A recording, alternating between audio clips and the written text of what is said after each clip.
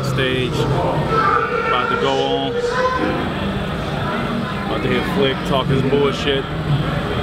Never take for granted the people to come out here and show us all their love and all their support. Like, damn.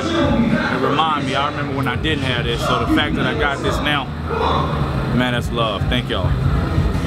Well, now that you've all prepared yourselves for the madness, I present to you Hopsin and Tech N9ne. See, Be banging on niggas with rap and voodoo. No slack for you fools. If you ain't getting the message, I slap it through you. My ass is cool, tracks is brutal. That's the usual shit that we do in Panorama City. No time for no bitches acting too sedity. My niggas is rugged, rude, kinda gritty, but really explosive. You know this. Come get your daily dosage. I spit that funky. Yeah, I've been knowing about I've been knowing about him since maybe 2009, 2010.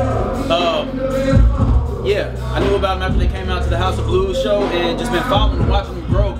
I toured with him on uh, very early tours. I toured with Dizzy Wright on his first tour for Smokeout Conversations, and it's just been amazing. Even since then, shit is just like going crazy. So, yeah, I've been following.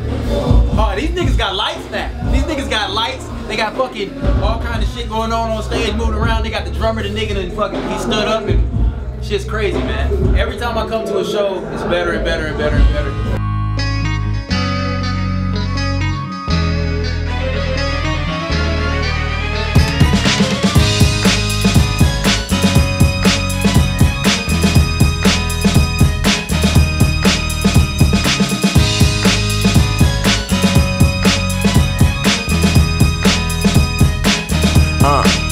You left me and you went home to Indianapolis. If I wanted, I'd be getting plenty of ass and tips. But I want you, can you send me an answer quick? Lost to your love, baby, give me a map to this. Never knew what love felt like till I met you. My heart wasn't for any other woman except.